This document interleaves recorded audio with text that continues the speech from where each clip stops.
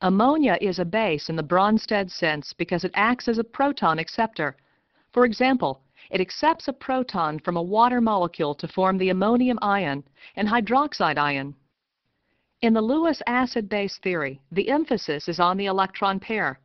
Ammonia is a base because it acts as an electron pair donor toward the proton. The proton is an acid because it acts as an electron pair acceptor. Lewis acid-base theory is more general than Bronsted theory because it applies to systems that do not involve protons. For example, ammonia acts as an electron pair donor toward boron trifluoride, a molecule that has a vacant 2p orbital. Ammonia also acts as a Lewis base toward metal ions, as in this example of the cobalt-3 hexamine complex. The ammonia electron pairs are donated into vacant metal orbitals. Carbon dioxide acts as a Lewis acid toward water.